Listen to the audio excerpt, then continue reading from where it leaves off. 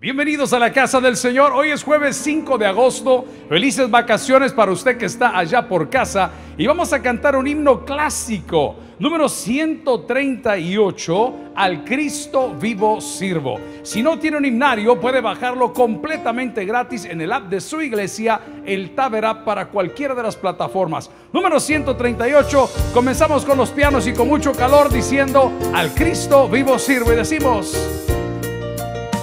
Al Cristo vivo sirvo y en él el mundo está. Oiga, aunque otros lo negaren, yo sé que él vive ya. Su mano tierna veo, su voz consuelo da.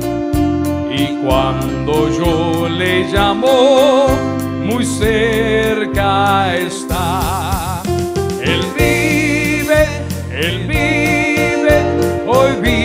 Salvador.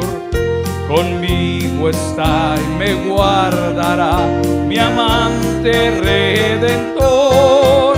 Él vive, Él vive, me imparte salvación. Escuche, sé que Él viviendo está porque, vamos para arriba, vive en todo el mundo entero contemplo yo su amor. Y al sentirme triste consuélame Señor. Seguro estoy que Cristo mi vida guiando está. A ver a ver. Y que otra así es. regresará conmigo, Él vive, Él vive, Él vive, hoy vive el Salvador. Conmigo está y me guardará mi amante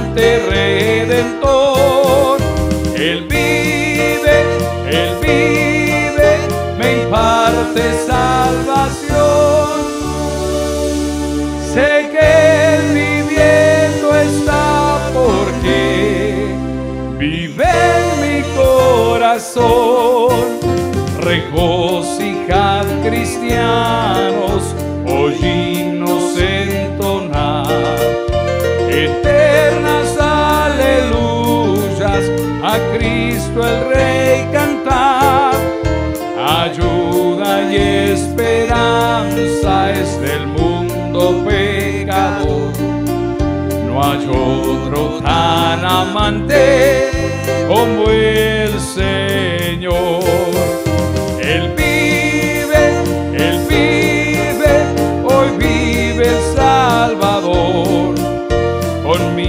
Está y me guardará mi amante redentor.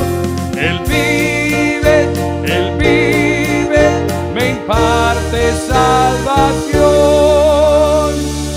Sé que Él viviendo está porque arriba vive mi corazón. Amén. Número 131. ¿Qué me puede dar perdón? Solo de Jesús la sangre. Por favor, busque a su familia, llame a las abuelitas, llame a la suegra, llame a su pareja y alabemos juntos el nombre del Señor. Número 131. Ya le dije, ahí tiene su himnario gratuito en el Taber. Cantamos y decimos. ¿Qué me puede dar perdón? Solo de Jesús la sangre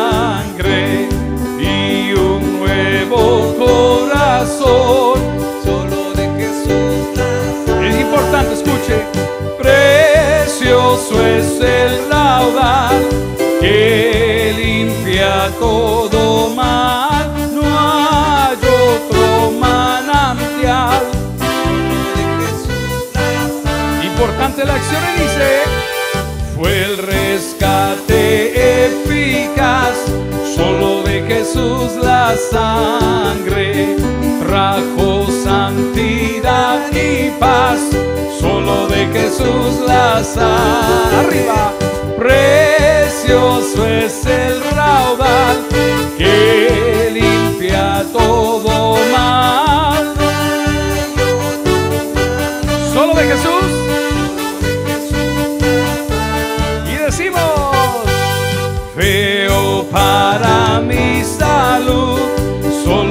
Jesús tiene, tiene de sanar virtud. Solo de Jesús la Y vamos para arriba.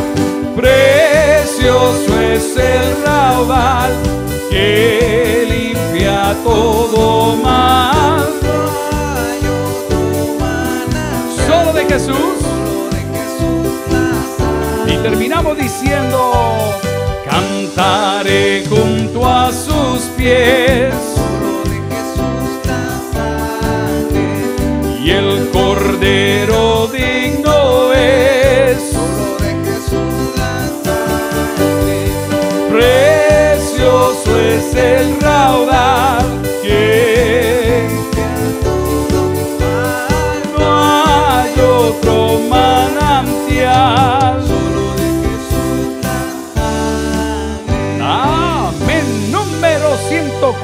141. Cristo es la peña de Oreb que está brotando.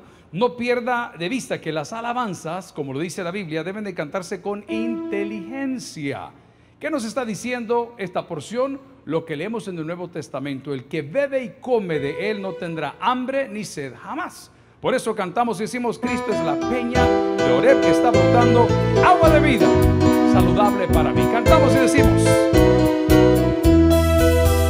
Cristo es la peña de Oreb que está brotando, agua de vida saludable para mí. Cristo es la peña de Oreb que está brotando, agua de vida saludable para ti. Es más dulce que la miel, refresca el alma, refresca todo tu ser. Agua de vida saludable para ti. Cristo es el lirio del valle de las flores, Él es la rosa blanca y pura de Sarón. Cristo es vida y amor. Así es. amores. Él es la eterna fuente de la salvación. Ven a buscarla en tu triste condición. Refresca el alma, refresca todo tu ser. Es el lirio del valle de las flores. Es la blanca y pura de Sarón. Besaron. Gloria al Señor número 80. Suenen dulces himnos gratos al Señor y oigas el concierto universal. Bueno, le quiero contar que alabar a Dios libera estrés. Alabar a Dios lo enfoca. Es más, la alabanza calma las tempestades. Siempre recordamos cuando la palabra enseña que donde hay dos o tres reunidos, ahí está la presencia del Señor. Pero en el Nuevo Testamento le preguntaron y le dijeron, hey, ¿qué podemos hacer para superar la prueba? Y él dijo, canten alabanzas, canten alabanzas. Mucho cuidado si está pasando por una mala etapa de la vida, porque si usted comienza a oír música romántica en el momento que le dijeron que tenía unos cuernos de este tamaño, usted se va a querer quitar la vida. Por eso la Biblia dice que el que pone ese tipo de música a un corazón quebrantado es como el que pone vinagre al jabón. No comete ese error. Vamos a cantar alabanzas al Señor. Número 80. Suenen dulces himnos y decimos. Suenen dulces himnos gratos al Señor y oigas el concierto universal. Desde el alto cielo baja el Salvador para Para o sea, de nosotros. beneficio Del coro, Gloria, gloria sea nuestro Dios. Gloria si cantemos a una voz.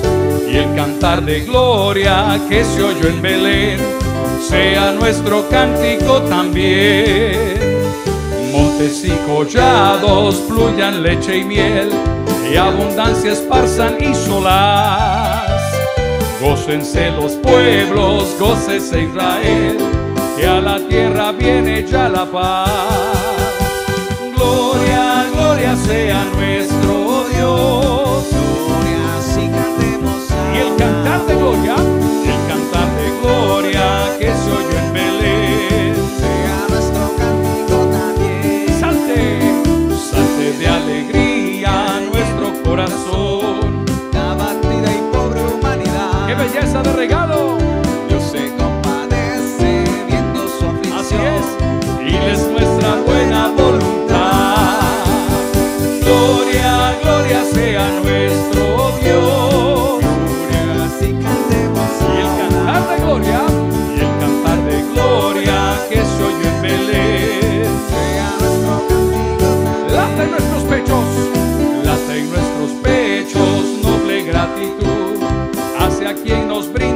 redención y a Jesús el Cristo que nos da salud.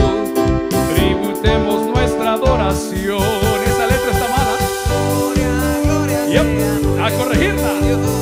Gloria si cantemos. Solo por eso vamos a repetir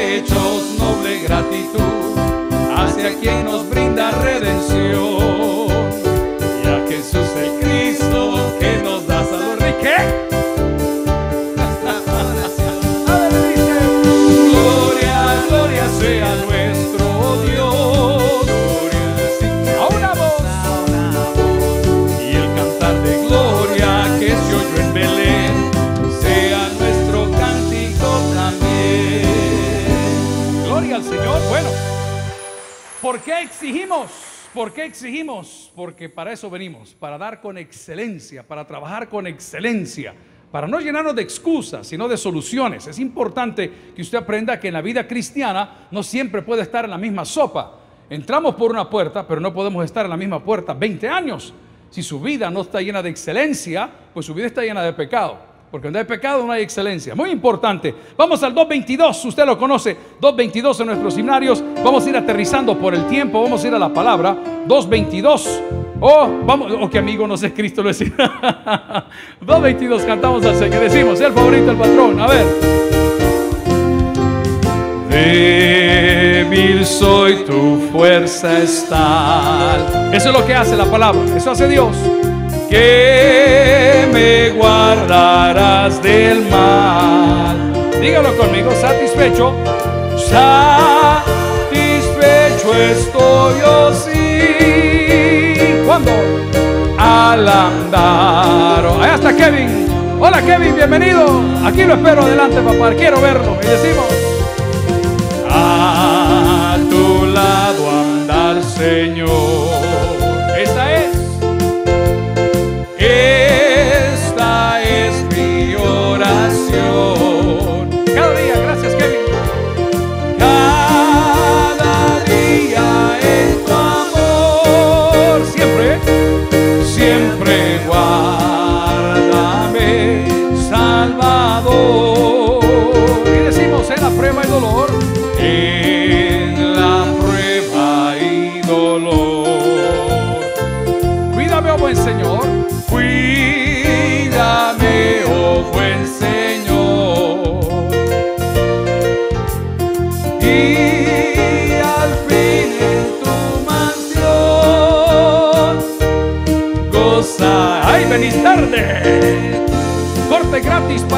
El día de hoy. Vamos a decirlo. A tu lado.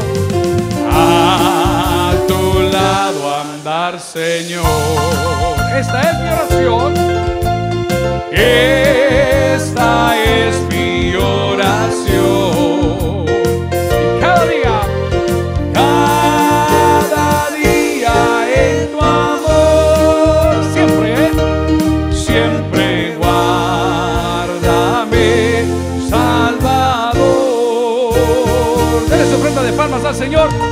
Jorge. ¿Algún anuncio para la semana, además de los aumentos Bueno, salariales? y los gloria a Dios por eso, ¿verdad, hermano? Bueno, Dios les bendiga a todos mis hermanos. Mire qué bonito que estamos una semana de vacaciones. Espero que podamos estar disfrutando. El día viernes, por supuesto, vamos a estar en la casa del Señor. Y durante el domingo no se lo vaya a perder porque vamos a tener una buena fiesta. Y sobre todo en estas vacaciones, 26 años de Radio Bautista. ¿Habrá alguien que aquí se convirtió en Radio Bautista? ¿Alguien que... Nadie? Ay, de verdad, hermano. Qué bueno, bueno. Así que mis hermanos, durante la semana no se pierda. Yo sé que la vacación es para disfrutar en familia, pero sobre todo ser agradecido con el Señor. ¿Qué más tendremos? Bueno, palabra de Dios. Tendremos muchas otras cosas y sobre todo sus niños. No los dejen en casa porque Taberquí sigue abierto a partir, ¿verdad? De los 6 años en adelante, ¿verdad? Estamos hasta los 10 años, ¿verdad? De 5 a 10 años. No, no los dejen en casa. Tienen que crecer, tienen que avanzar y también buen programa para ellos. Bueno, pastor, vamos a una ofrenda, ¿verdad? Y vamos a darle gracias al Señor. Póngase de pie el día de ahora. Recuerde que las ofrendas y los diezmos, ¿qué son las ofrendas y los diezmos? Sino el agradecimiento de todas las bendiciones que Dios nos da a nosotros. ¿Por qué ofrendamos? ¿Por obligación? No, no damos por obligación, lo damos por agradecimiento. Aquellos que experimentamos el diezmo, la ofrenda y sabemos que Dios es más que suficiente, usted sabe que por eso estamos acá. Los proyectos de la iglesia, eh, las, las capillas que se han terminado y otros proyectos que también están en mente son parte de todas nuestras bendiciones. Va a ser importante que usted nos conozca si no nos conoce. Hay gente que critica, pero lo que vamos a poner el día de ahora es con agradecimiento. Lo poco, lo mucho, Dios lo bendice según la intención del corazón. Vamos a cantar con gozo, lo nuestro tuyo es. Lo nuestro tuyo es, su mano nos lo dio. Por eso gloria, honra, te damos, oh buen Dios. Amén. Padre, agradecidos por este día maravilloso. Hemos terminado aquí en la casa, Señor, con familia. Hemos terminado acá con el equipo. Te pido que pueda bendecirnos, Señor, y que durante toda la semana tu presencia nos pueda acompañar. Recibe las ofrendas y los diezmos, las cuales las ponemos con agradecimiento en el corazón. Multiplícalo para todos nuestros proyectos, para todo eso, Señor, que estamos llevando y sobre todo la palabra de Dios. En el nombre de Jesús. Amén y amén. Puede sentarse el ministerio. Gracias de por ofrendar y participar en los ministerios del Tabernáculo Bíblico Bautista Amigos de Israel Central. Son miles de personas las bendecidas por medio de estos ministerios de ayuda social. Gracias por tu confianza y aporte. Cada programa de televisión, radio como redes sociales funciona 24 horas del día sin publicidad alguna, junto a sus 11 repetidoras y operadores que son activadas por medio de tus donaciones. Entre los ministerios más significativos de la iglesia tenemos a nuestros niños del albergue infantil, quienes están bajo nuestra total cobertura y responsabilidad. Retorno, nuestro centro de rehabilitación para alcohólicos y adictos. Contamos con Ministerio de Hospitales, guarderías, dormitorios públicos, repatriados, privados de libertad, hombres y mujeres, Bartolinas y más. Compartir con los menos privilegiados es nuestra pasión. Por ello, Pan y Chocolate reparte alimentos a los indigentes cada semana en diferentes rutas. El Ministerio Mundo de los Sueños acompaña a los niños y familiares en sus momentos de crisis de salud. Consejería telefónica, programas de becas universitarias y educación básica. Todo esto es posible gracias a tu confianza y donaciones. Ayúdanos a ayudar. Visita nuestra iglesia. Puedes llamarnos al 503 2236 1029 o escribirnos a donaciones arroba tabernáculo.net. Puedes también buscarnos en www.tabernáculo.net. Al ingresar en la página puedes buscar cómo ofrendar y donar. Cada vez que ofrendes, recibirás tu comprobante de donación para saber que está siendo bien administrado. Muchas gracias. Hay mucho camino por recorrer, pero juntos lo lograremos. Dios bendiga y multiplique todo lo sembrado. Este es tu ministerio, Tabernáculo Bíblico Bautista Central. Un aplauso a nuestro talento y nos ponemos de pie. Póngase de pie, vamos a abrir la Biblia en el Evangelio de Juan. Amigos y hermanos, los evangelios son buenas nuevas. ¿Lo puede decir conmigo? Los evangelios son buenas nuevas. Entonces es importante que usted pueda desarrollar una amistad con los evangelios. Yo tengo un grave problema que quizás estoy clavado en el Nuevo Testamento, pero pareciera que todos los pastores ya históricos, arriba de 40 años, viven contando historias. O sea, yo no estoy en contra de eso, solo estoy dando una observación. Amén. Es como cuando uno se pone viejo. Yo a usted le he contado 20 veces cómo me ganaron a Cristo, 20 veces cómo fue que nos casamos, 20, pero no, los evangelios son buenas nuevas. Y le invitaría a que desarrolle una amistad con los evangelios. Porque cada evangelio da una fotografía de un ángulo diferente de nuestro Señor Jesucristo. Uno lo presenta como siervo, otro lo presenta en el caso de Juan como el Hijo de Dios. Entonces usted va a ver que la figura de Jesús, aquella figura que usted tiene en esa cruz, en una parroquia, no es la de los evangelios. No es la de los evangelios. Los evangelios hablan de esperanza. ¿De qué hablan los evangelios? De esperanza. Entonces probablemente andamos pasando por un bajón, por alguna situación y la lectura de los evangelios me llena de esperanza. Entonces, los evangelios siempre tienen buenas nuevas. Específicamente el Evangelio de Juan, que les he comentado por mucho tiempo que es mi favorito. ¿Y por qué? Porque tiene siete señales que prueban que Jesucristo es divino, es el Hijo de Dios.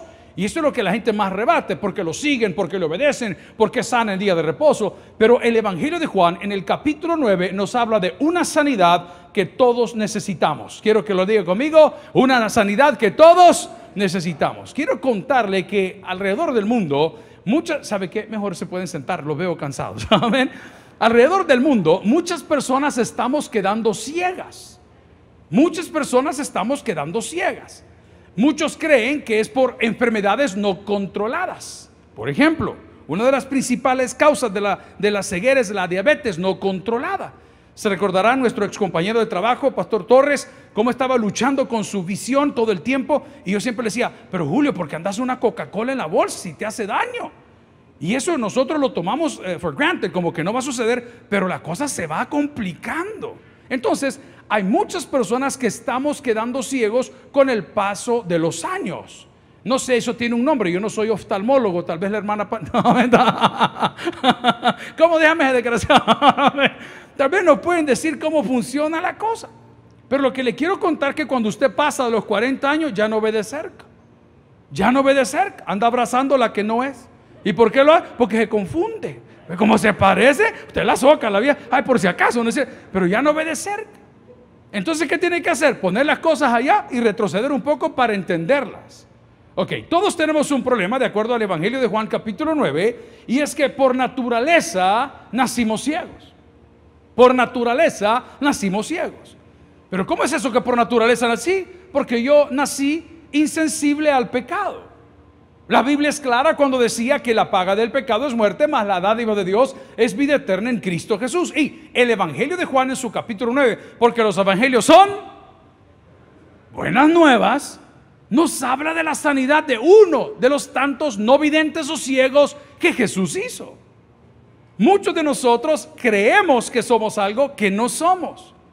Creemos que aparentamos algo que realmente no somos. ¿Y por qué no lo notamos, pastor? Porque estamos ciegos. Porque no percibimos las cosas de Dios. Despierten ábalos ahí atrás. Porque no percibimos las cosas de Dios. Cuando nosotros percibimos las cosas de Dios, entonces Dios nos revela quién verdaderamente nosotros somos.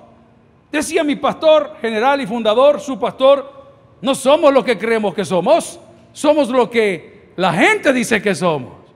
Usted puede tener todo lo que quiera de riqueza, pero la Biblia le calla y le dice, mejor es el buen nombre que la mucha riqueza. Habrán personas que no tienen riqueza, pero son grandes haraganes.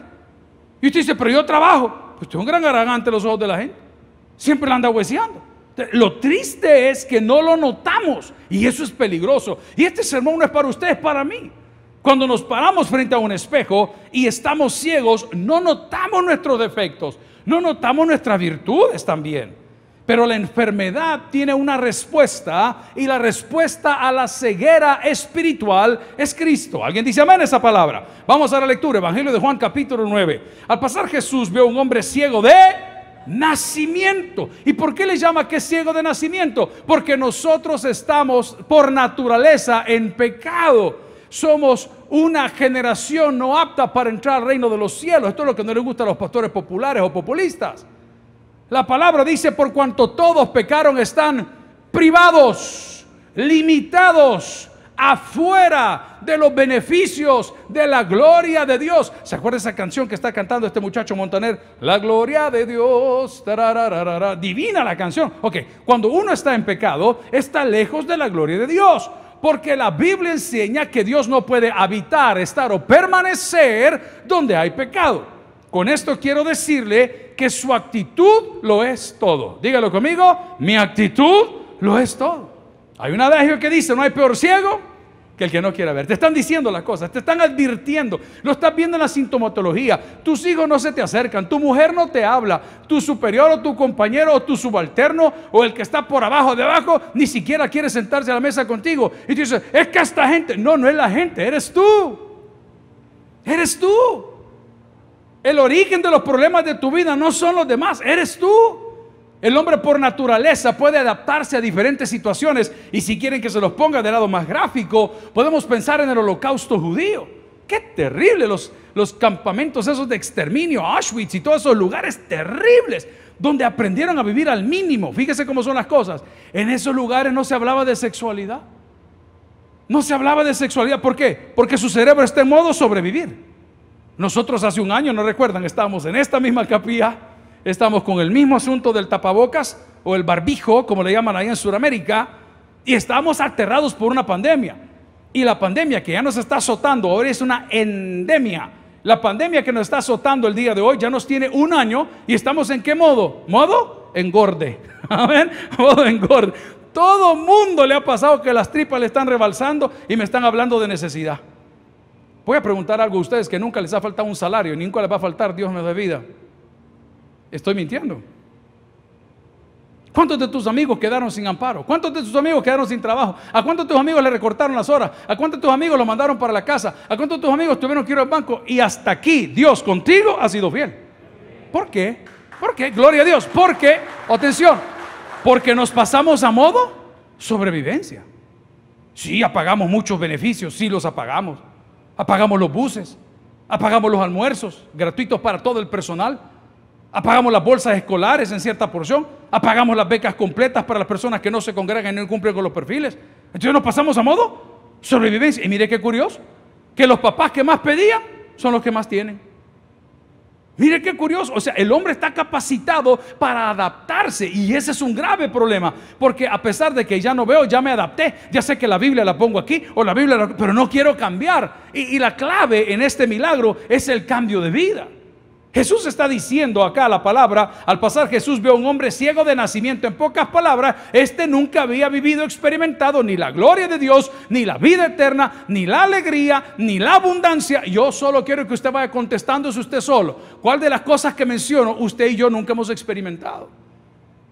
¿Hace cuánto tiempo no llegas a la casa y te sientes pleno? Qué fe esa palabra, pero ah, vas a la casa más bravo, me tengo que dormir, me tengo que despertar, tengo que estar. ¿Hace cuánto tiempo no disfrutas el plato de comida cualquiera que sea que esté en tu mesa? Voy más allá, ¿hace cuánto tiempo no disfrutas a tu pareja, sino todo lo contrario? Y claro, nosotros que somos rápidos para hablar, ella, él, él, no, no, no, no, no, no, somos nosotros que estamos ciegos, que no estamos viendo a la gente que dañamos o con nuestra haraganería o con nuestra extravagancia o con nuestra exigencia o con nuestro pity party de humildad. Dios lo que quiere, mentira. Mentira, una persona que ha sido por Cristo perdonado es una persona plena, hermano. Lo voy a usar de esta forma. ¿Hay mujeres en la casa del Señor? Algunas, ¿verdad? Amén. ¿Cuántas de las que están aquí se bañan en la playa con Fustán? Vaya Dios a ver. Cuando usted está cómoda con su familia, a usted le vale un sorbete. Mira, yo no traje calzoneta. Ay, metete, mamá, no importa si los chombolos no comen carne. Amén. Y ya, la señora se mete y comienza a flotar y no pasa nada. Pero cuando estamos insatisfechos, no nos bañamos, no nos cambiamos, no participamos, nos sentamos en los últimos puestos del templo, como mandé a traer a los que están aquí adelante a esta hora, porque no están plenos y no se dan cuenta de lo que se están perdiendo. Saben que a partir de hace un tres días, cuatro días, los salarios aumentaron y gloria a Dios por ello. ¿Estamos preparados? Por gracia de Dios estamos preparados. ¿Qué puede hacer usted? Usted siga trabajando, cuide su trabajo, pero siga trabajando. Pero hay gente que decir, le van a dar el aumento y no le va a alcanzar. Ah, y no nos van a dar más. ¿Y por qué no nos van a dar más? ¿Y si la gasolina también subió? ¿Por qué? Porque no han oído lo que dijo el gran siervo Job, Jehová Dios, Jehová quitó sea por los siglos. No han oído lo que dijo el apóstol Pablo, para todas cosas estoy preparada, para vivir en necesidad, para vivir en abundancia. No leen la entonces estamos ciegos. Y esa ceguera daña a terceros después de haberme dañado a mí. La palabra dice en el Evangelio de Juan capítulo 9 versículo 1, al pasar Jesús, te voy a decir una cosa, una vez pasa el ciego por el mal camino. Ahorita dale gracias a Dios que anda cerca de ti. Vendrá un momento en que lo vas a buscar y no lo vas a encontrar. Eso no le pasa a los malos, nos pasa a todos. Muchas veces Dios te está tocando al corazón como un predicador, como un líder que eres en esta iglesia, como un encargado de un departamento. Te está tocando el corazón, te está tocando el corazón y tú lo ignoras, no eres, no, no te congregas, no oras, no participas. Y de repente que te tocó, te llamaron a predicar, te llamaron a un bautismo, te llamaron a una santa cena, te llamaron y de repente tú dices, Señor, aquí vamos. Y dices, no, hoy no voy con vos. Andamos solo.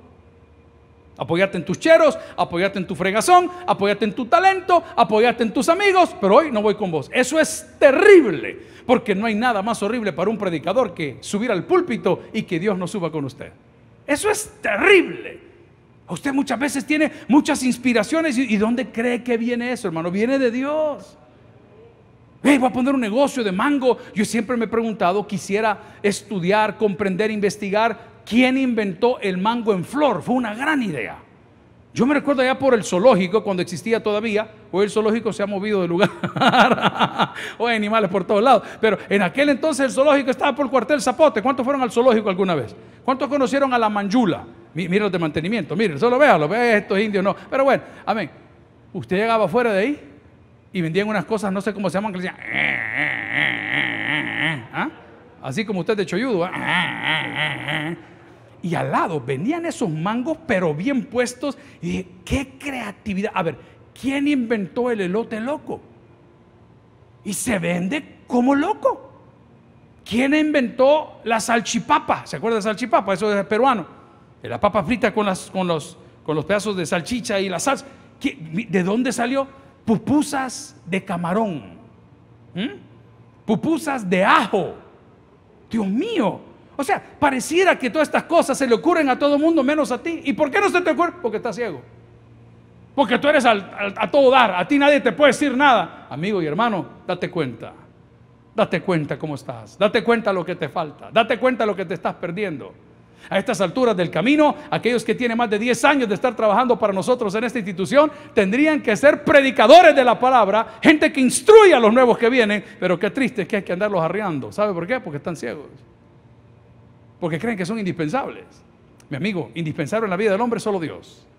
Si Jesús está pasando por tu vida, si esta palabra te va a servir para algo, si te va a servir el día de hoy para venir a decir, pastor, hasta aquí llego yo porque voy a poner mi negocio, por favor recibíla, pero dale. Porque Dios tiene cosas maravillosas para ti. Lo vas a descubrir el día que te quites la venda de los ojos y la venda de los ojos primaria de todo hombre se llama orgullo. El orgullo no nos deja ver. Mire, usted está rodeado de muy buenas personas, pero el orgullo no te deja ver. Te casaste con un gran hombre, te casaste con una gran mujer, pero el orgullo no te deja ver. Porque lo que hace el orgullo es poner una ceguera, una venda sobre tus ojos. Quiero que vaya conmigo en la Biblia y busque, vamos a ir a 2 Corintios 4:6. 2 Corintios 4:6. Estas cartas fueron escritas por el apóstol Pablo. Ya saben que fueron dirigidas a una ciudad que era súper, súper um, fiestera, eh, la ciudad de Corinto. Les he contado que la atracción más grande de la ciudad de Corinto, eh, cuenta la historia, era un prostíbulo con más de mil mujeres. Corinto era una ciudad portuaria, donde llegaban barcos, donde se hacía mucho negocio, había mucha plata. Entonces el apóstol Pablo está ordenando las cosas, por eso se le llama la carta de las lágrimas de Pablo, porque está arreglando todo el relajo que ahí se vivía. Y hablando de ceguera espiritual, dice la palabra en 2 Corintios 4:6, porque Dios, ¿quién lo hizo? Dios.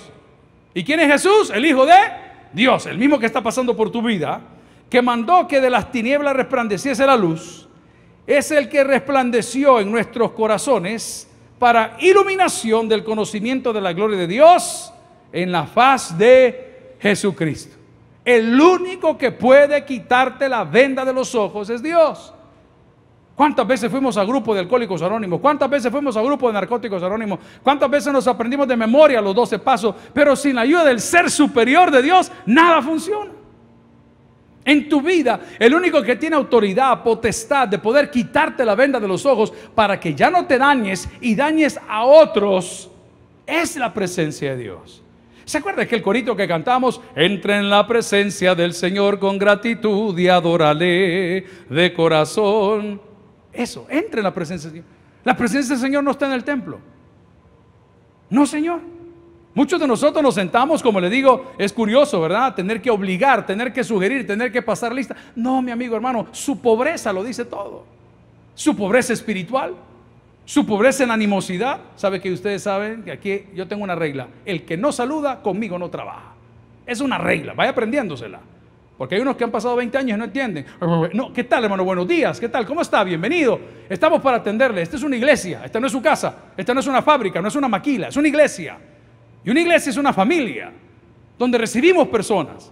Entonces, ¿cuál es su problema? El otro día estaba un muchacho limpiando una planta. Buenos días, le digo. Buenos días, le dije nuevamente. A la tercera le dije, mira, fulano, ¿quién es este? Es fulano tal, va a quitarlo. le dije. No, me dijo buen trabajador, a mí qué me importa. Tu buen trabajo no es el que importa aquí, tu actitud es la que importa. Tu actitud para con Dios, tu actitud para con las personas, tu actitud para con tu hermano. Tome nota, hermanito. Vienen cambios. Tome nota. ¿Es una amenaza? No, es una realidad, hermano. Hay gente que nos ha donado su tiempo por meses sin cobrar un salario aquí. Y tienen una mejor actitud que los que tienen años de estar aquí con un buen salario.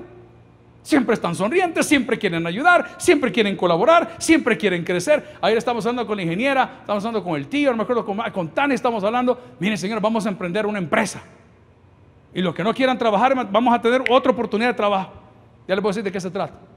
Una empresa particular, con buen personal. Que llegue ese lugar y le diga, señor fulano, ajá, este es su casa, este es su jardín. Va, mire, un, dos, tres, cuatro, cinco, ella es la jefa, usted reporta, aquí vamos, vamos a darle mantenimiento a todo. Claro que hay oportunidad. ¿Y qué cree que va a pasar el día que le mandemos a alguien que no habla? Buenos días, doctora. Mm. Y eso que anda con el barbijo puesto y todavía se ven los ojos que los traba para el otro lado. Digo que solo uno le funciona. La actitud. Solamente Dios puede quitar de nosotros la soberbia. Ay, esto me duele decirlo, pero el problema es que cuando Dios quita la soberbia, no te la quita como tu mamá. ¿Te acuerdas un día que te jalaste un pellejito del dedo? Y casi te sale el vientre por aquí, por el gran llanto que tenías que, ¡ay! ¡ay! Y sale la señora con una curita, ponerte la curita, la Hello Kitty. Entonces al día siguiente, mamá, ¿me la quitas? Le ponían agua tibia. Papá, cuando Dios te arranca la soberbia, te voy a dar una lección. El hombre que reprendido endurece la cerviz, de repente será quebrantado y no habrá para él. Vaya, aquí voy. Y no te la va a quitar él, te la va a quitar tus propias palabras. Solito te vas a ir enrollando. Te vas a ir enrollando. Te vas a ir enrollando. Te vas a ir enrollando y de repente estás tropezando con tus propias palabras. El que no necesita, el que no quiere, el que aquí, que allá. Yo recuerdo, teníamos un compañero súper buena onda. Este me dolió perderlo porque era súper buena onda, pero es creído. Fíjate que no tiene carro, pero anda llavero. No sé para qué él anda el llavero así, ¿eh? Anda comiendo chicle, los lentes aquí arriba y un gran salsa. Y decía, ¿y este qué onda, vea? Un día buena gente, buenísimo trabajador, le digo, hey, ¿qué pasó? ¿Dónde está trabajando? Ah, tengo mis empresas, tengo mis empresas. Oh, santo, dije yo. Este puso cajero Bitcoin. Con toda la mara. ¿Y cuáles son tus empresas? Pues sí, puse una plancha pupusa, me dijo, por aquí, por allá. Y, bye. Al final de la conversación me dijo, ¿y habrá alguna oportunidad? No, le dije. No, ya no. Para estar otra vez en lo mismo. ¿Cuánto me ha costado limpiar esta casa en tres años? ¿Cuánto me ha costado? Ustedes saben, desde pastor hasta colaboradores. Yuca, hermano, duele. Traiciones, duele. Pero la casa todos los días se va restaurando. Todos los días se va restaurando. Pero voy a hablarte de la soberbia. Cuando la soberbia llega a nuestra vida, nos da la ceguera más peligrosa. Porque nos revelamos hasta en contra del mismo Dios. Y con Dios nadie compite. Con Dios nadie compite. Tú puedes hacerlo con tu vecino, puedes hacerlo con fulano, pero con Dios nadie compite. Entonces, la ceguera causada por la necedad que viene de la soberbia nos hace enrollarnos en nuestras mismas palabras y terminar pagando el precio supremo que es el error. Y el error es pecado. Y la paga del pecado es muerte. Pero esta es la buena noticia. Mas la dádiva de Dios es vida eterna. ¿En quién? en Cristo Jesús, Señor. O sea que tiene solución hoy. Hoy. Te portaste soberbio. Una disculpa, un mensajito. Si no se trata que no cometemos errores. Le doy un ejemplo. Estaba tratando de grabar un sermón en inglés. Yo nunca he predicado en inglés, yo nada las que quiera, pero predicar es otra cosa. Y una cosa es hablarlo frente a un púlpito y otra es poner usted su propio teléfono y grabarse usted mismo. Se siente rarísimo. Y dije, bueno, voy a probar. De los muchachos que están trabajando, todos se han fajado, están poniendo baños, están haciendo aquí, están haciendo allá, de todo están haciendo todo el día, pintan y cambian focos y andan así en fila india atrás de Jorge, todo, vea, y buena onda. Y de repente oigo yo un pencazo del original, ajá, bien duro, y, y hasta paré el sermón. ¿Y qué pasó? Dije, se cayó la licencia de SOS. Amén. ¿Ah? ¿Y qué pasó? y abro mi ventana y veo un baño quebrado. Bueno, dije, ni modo, son accidentes. En todo lugar suceden accidentes. ¿Alguien dice amén? Se cayó un tomate. Ah, que ya lo el diablo. en todo lugar suceden accidentes. Bueno, gracias a Dios no era nada, era una tontera material. Cerré la cortina y seguí tratando de predicar. Cuando terminé, llegaron las nueve, 9 y 40, 9 y 50, 10 de la mañana. 10 de la mañana le hablo al otro colaborador, ajá, fulano le digo, ¿cómo estás? Bien, pastor, ¿qué necesita? ese ya, ese ya, eh". Mi- Mira, le digo, ¿te reportaron que se quebró una pieza de un baño? No, me dijo. Ah, no te lo reportaron. ¿Habrá la bodega? ¿Habrá la bodega a ver si lo reportaron?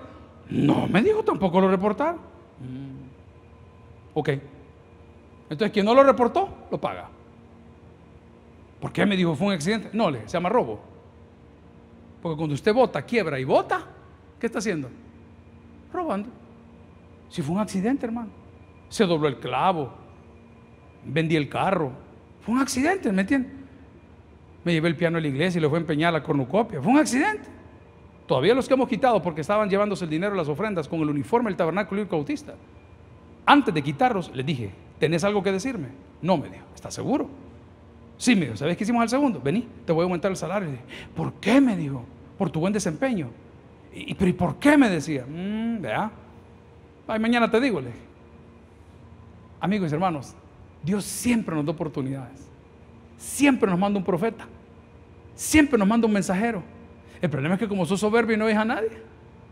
El como no quieres hablar con nadie porque tú ya tienes la razón, tú tienes, por aquí, por amigo y hermano, mucho cuidado porque la ceguera produce soberbia, la soberbia produce error, el error es pecado y la paga del pecado es muerte. Pero aquí voy a la segunda parte. Mas la dádiva de Dios es vida eterna en Cristo Jesús Señor nuestro. Significa que nuestro problema hoy tiene solución. Vaya conmigo al Evangelio de Juan capítulo 9. Dice, al pasar Jesús vio a un hombre ciego de nacimiento y le preguntaron sus discípulos diciendo, rabí, eso es maestro, ¿quién pecó? ¿Este o sus padres para que haya nacido ciego? Respondió Jesús y dijo, no es que pecó este ni sus padres, sino para que las obras de Dios se manifiesten en él. ¿Y de qué está hablando? ¿De la sanidad? No, de la gracia, de la misericordia, del perdón de pecados, de eso está hablando.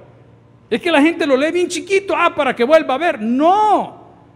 Él nació así para que las obras de Dios se manifiesten en él. ¿Y cuál es la mayor obra de Dios en nosotros? La expiación de nuestros pecados.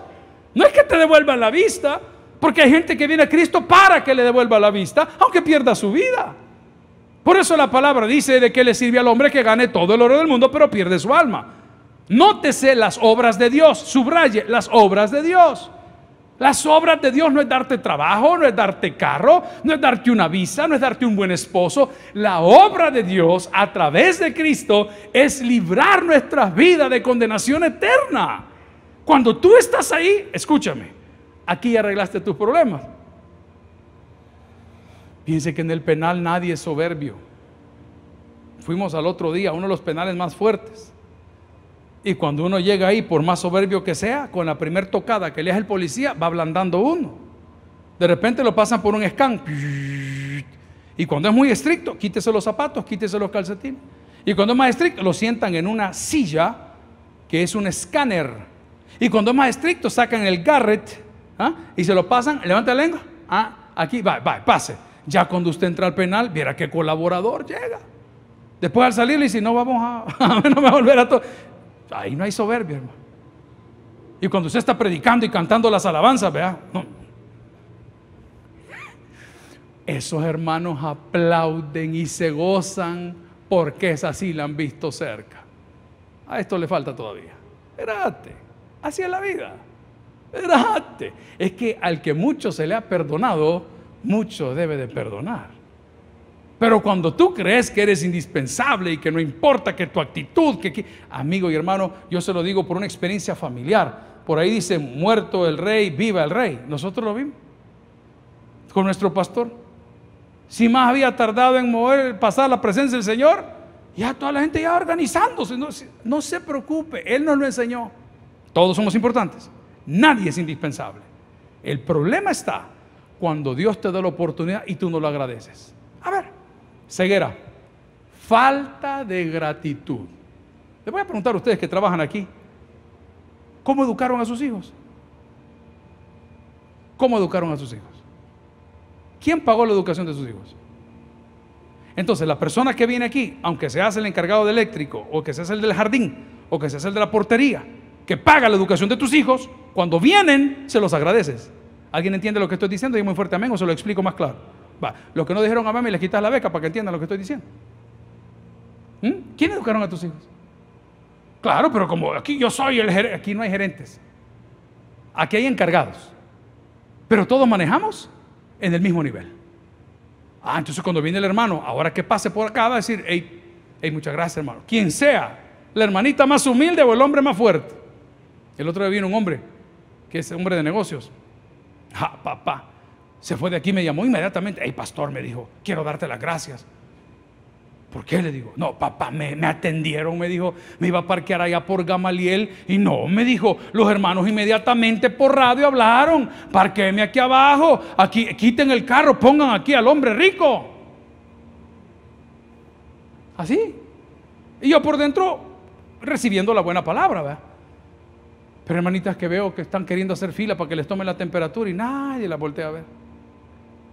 Son ellas las que pagan tu salario y la colegiatura de tus hijos. Por eso tratamos a todos bien.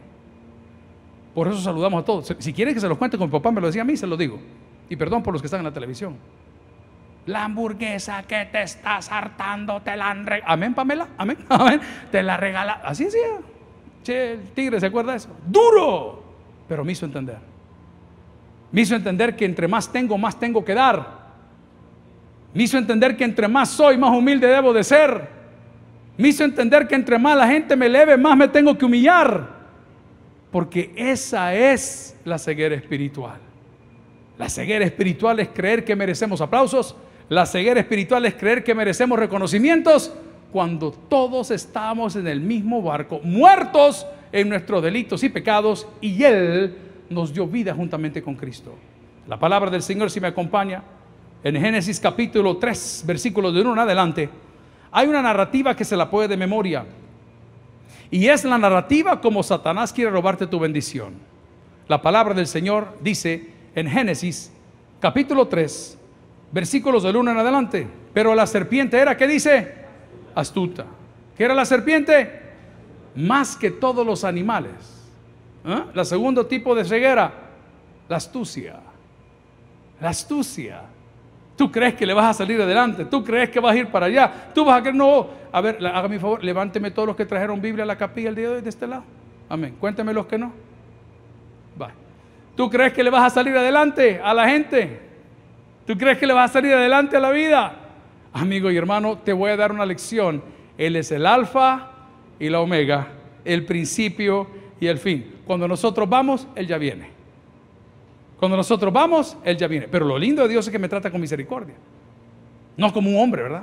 Pero aquí en Génesis capítulo 3 dice, pero la serpiente era más astuta que todos los animales que Jehová Dios había hecho, la cual dijo a la mujer, con que Dios os ha dicho, no comáis del fruto del huerto. Y la mujer respondió a la serpiente, del fruto de los árboles del campo. Y con la astucia que esta serpiente tenía, ¿ah?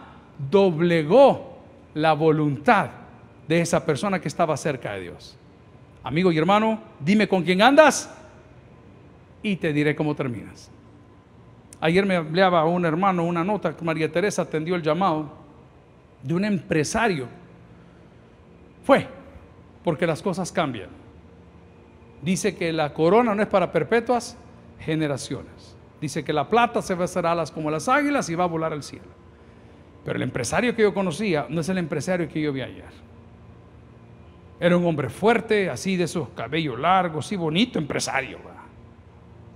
Hoy lo ve con unas 90 libras de peso, con un pamper, sin una pierna, abandonado, solo en su casa, no hay hijos, no hay mujer.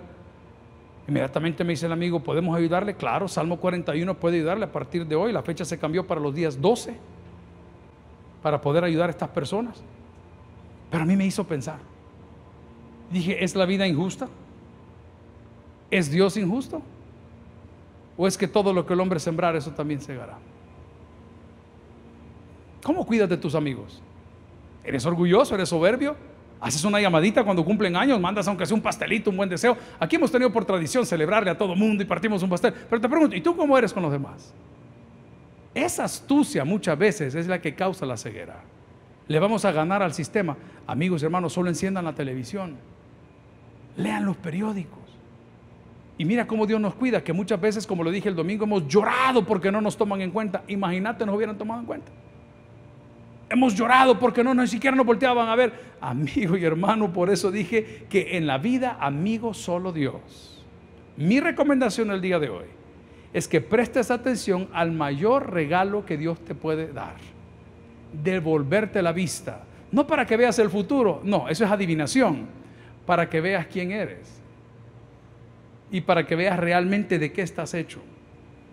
Y que puedas entender que todas las cosas que tú crees y andas ahí promulgando y exhibiendo, pues son puras apariencias. Porque la Biblia es tan fuerte que dice que Dios conoce las intenciones del corazón. La palabra del Señor, si me acompaña, en 2 Corintios capítulo 3, versículo 16 dice, pero cuando se conviertan al Señor, coma, muy importante, pero cuando se conviertan al Señor, coma, muy importante, que dice la segunda parte, el velo se quitará. ¿Hay hombres en la casa de Dios? Le voy a dar una humilde sugerencia. ¿Quién tiene más de 50 años aquí que no sea el tío? De este lado, más de 50 años. Amén. En nombre, en serio. ¿Cuántos años tiene, campeón? Ah, estamos bien, estamos bien. Todavía, Chabelo, ¿sos salvable? ¿Cuántos años tiene? Sí, por eso estás así, sí. Allá atrás vio uno. No, hombre, Queenie. Uh, chica. Borja. Ama, dos. Ah, o sea, ah, 52, 52. Ey, el Señor me dijo, a. Allá atrás.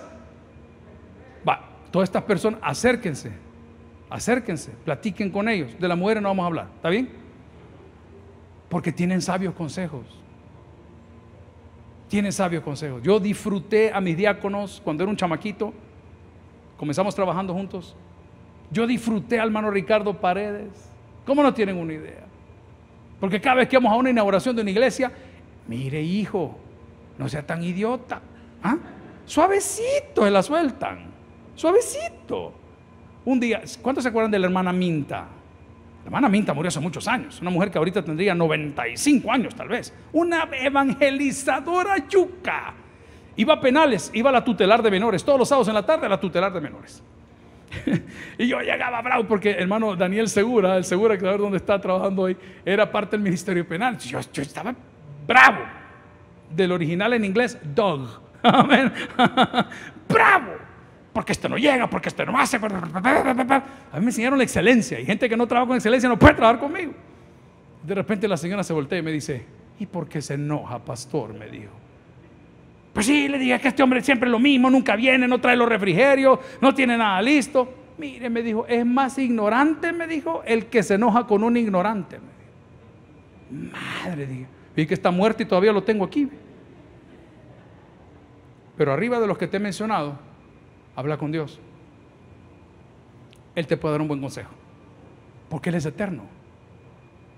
Entonces no se trata de hablar con Dios, dame, dame, dame, dame, ayúdame, dame, dame. No, no, hablar con Dios es preguntarle, hey Señor, ¿en qué la estoy regando? Porque 2 Corintios me está diciendo, se lo lee conmigo 3:16, pero cuando se conviertan al Señor, eh, aquí sí voy a utilizar la palabra bautismo o bautizo, que significa teñir de otro color. Nadie te puede convertir al Evangelio. Les voy a dar casos reales de nuestros compañeros de trabajo que ya no están. Amigo, ¿qué creen que se siente cuando las personas que están muriendo, que son los del Salmo 41, muriendo, que hoy por la pandemia se les mandaba alimento y otro mes se les mandaba dinero. Le digo a María Teresa, hágame un favor, si estos fregados tocaron ese dinero, hágame un favor, llame a las personas. Y le llamamos gente con caso renal que tienen que comprar todo, no tienen una idea.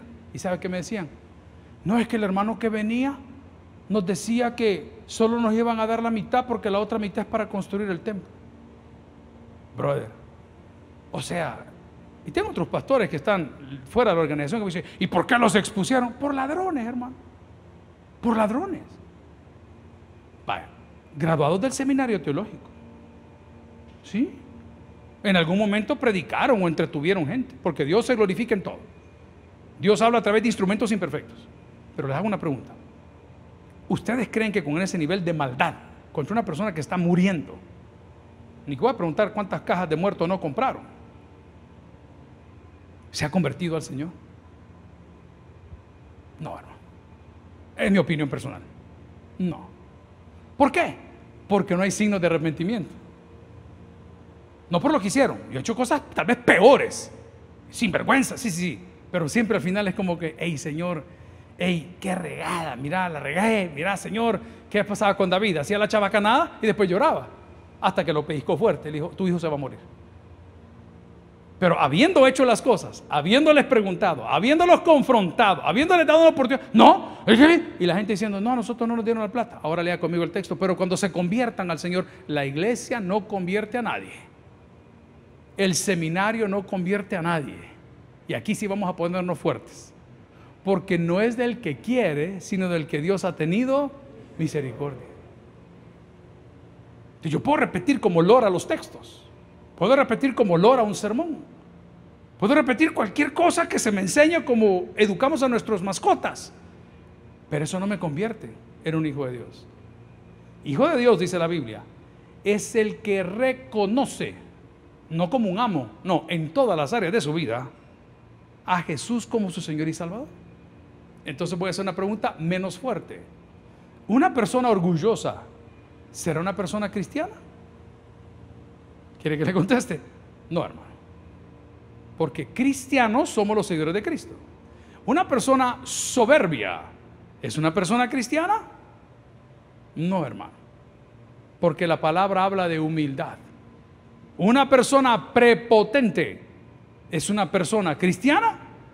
No, hermano. Entonces, ¿qué debo de hacer? Lo que dice 2 Corintios. Y dice, pero cuando se conviertan al Señor, el velo se quitará. Mi hermano, hace unos días estuve viendo unas fotografías que no sé ni cómo llegamos ahí, eh, no me acuerdo ni por qué, con una barba tan terrible y tan horrible y tan chililluda y tan sin forma. Y yo recuerdo que les conté a ustedes que cuando llegué a migración canadiense, la, coreana que me detuvo ni siquiera me saludó, solo me dijo, ¿trajiste marihuana? Y le digo yo, no, yo soy un pastor. ¿No escuchaste la pregunta? ¿Trajiste marihuana? Me decía. Le digo, no, yo no traje marihuana, no fumo marihuana, solo la vendo. A ver, ¿ah? la tercera vez, did you listen to me? Me dijo la china con un acento terrible. Did you bring marihuana? Le digo, no, no traje marihuana. Y yo, desvelado. San Salvador, Houston, Houston, esperar cinco horas, cinco horas Vancouver, cuatro horas y tanto de vuelo. Eran las once y pico de la noche, las pepas así peladas, los pelos así parados y la cara de maldito que tengo. Era la combinación perfecta para decir, did you bring marihuana? Las apariencias engañan. Cuidado con aquellos que aparentan piedad. El Señor le bendiga. El cuchillo por la espalda. Cuidado. Cuidado. Cuidado. Padre habla en esta mañana. Sí, cuidado. Pero cuando se conviertan al Señor. Alguien me preguntó el sábado, el arquitecto Mondragón, pastor de la iglesia Betel Bautista de Zacatecoluca. Pastor me dijo, ¿cuándo comenzó a amar lo que usted hace?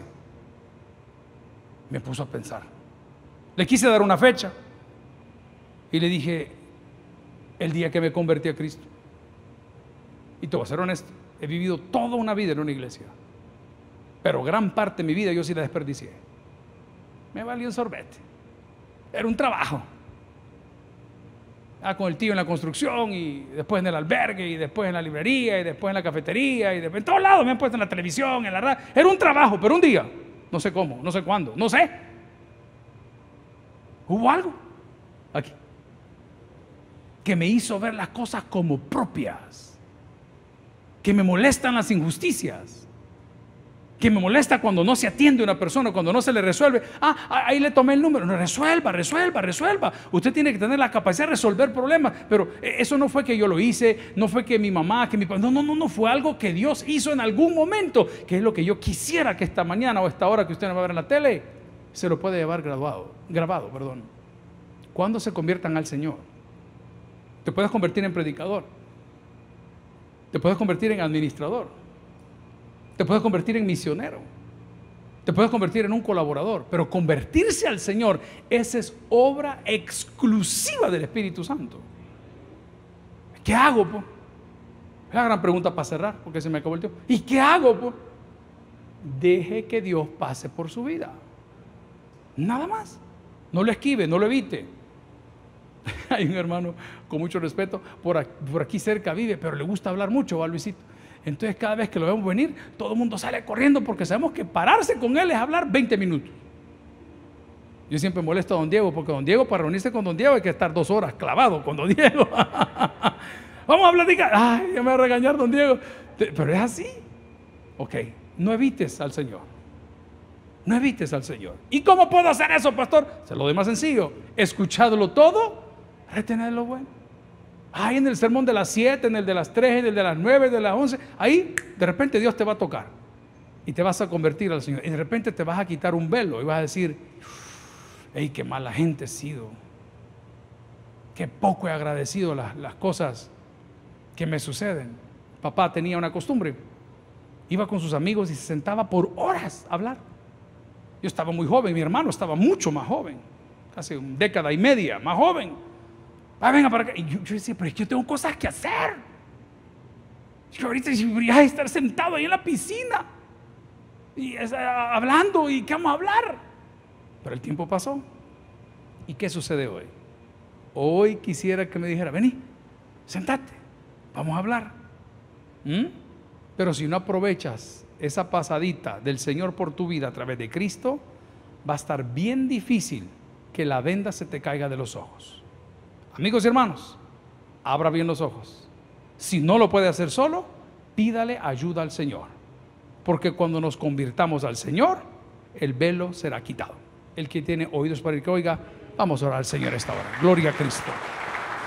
Padre, te agradezco por cada familia aquí representada, te agradezco por cada colaborador que está con nosotros hasta el día de hoy. Gracias, Señor, por todo el esfuerzo que hacen por cuidar de tu casa. Hoy les he propuesto de una manera enfática cuidar de los hermanos, cuidar de las personas que aquí se congregan, cuidar de todos aquellos que vienen a este lugar en busca de respuestas. Señor, quita de nosotros la soberbia, la arrogancia, la vanagloria, la insensibilidad, la dureza de corazón. Recuérdanos lo que dice el Salmo 146, 8. Jehová abre los ojos a los ciegos, Jehová levanta a los caídos, Jehová ama a los justos. Amigo, el día de hoy renuncia a la dureza de corazón. Usted que está en casa, que ha llevado una vida quizá muy acelerada o muy tranquila, hoy es un buen día para venir al Señor. Ese milagro del el Evangelio de Juan capítulo 9, donde Jesús mismo dice, esto es necesario para que conozca las obras de Dios, no está hablando de sus ojos, está hablando de perdón de pecados, salvación y vida eterna.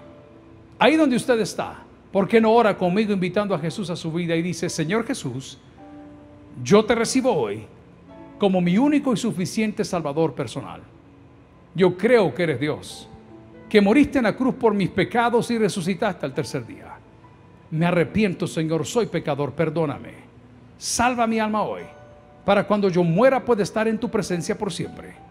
En Cristo Jesús, hoy te declaro mi Señor y mi Salvador. Y la iglesia dice, amén. Deben un fortísimo aplauso al Señor, póngase de pie. Vamos a cantar, estoy cambiando mi tristeza por la alegría del Señor. Yo sé que trajo sus palmas. Ah, vamos a tener refrigerio, ¿verdad? Tenemos refrigerio. Amén. Vamos a decirlo con gozo y alegría. Estoy cambiando mi tristeza. Estoy cambiando mis temores por la alegría del Señor. Por la alegría del Señor. Estoy cambiando mi enfermedad. ¿Qué más?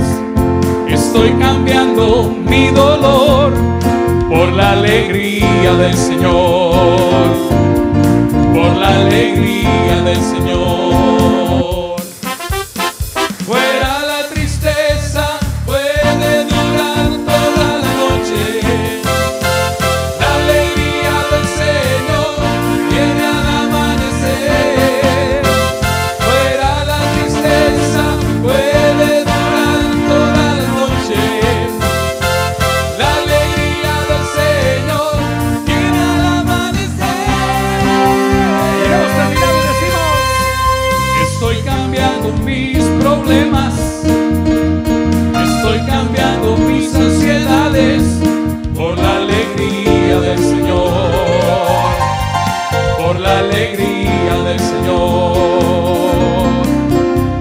Estoy cambiando mis flaquezas, importante.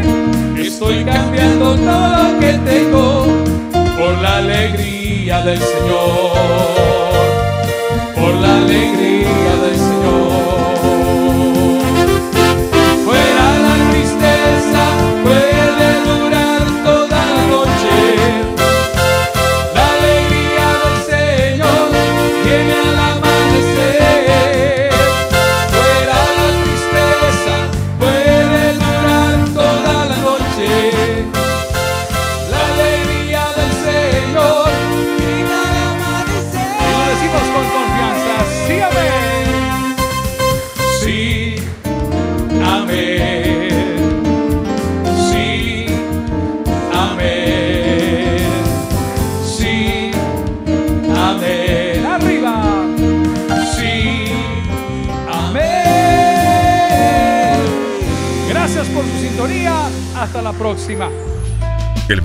Llegado a su final. Abre tu corazón y recibe a Jesús como tu Salvador personal. Invócale de esta manera. Señor Jesús, yo te recibo hoy como mi único y suficiente Salvador personal. Creo que eres Dios, que moriste en la cruz por mis pecados y resucitaste al tercer día. Me arrepiento, soy pecador. Perdóname, Señor. Gracias doy al Padre por enviar al Hijo a morir en mi lugar. Gracias, Jesús, por salvar mi alma hoy. En Cristo Jesús mi Salvador. Amén. Bienvenido a la familia de Dios. Ahora te invitamos a que te congregues con nosotros. Estamos ubicados en Final 73 Avenida Sur, calle Doctor Edgar López Bertrán, Colonia Escalón, número 401 San Salvador.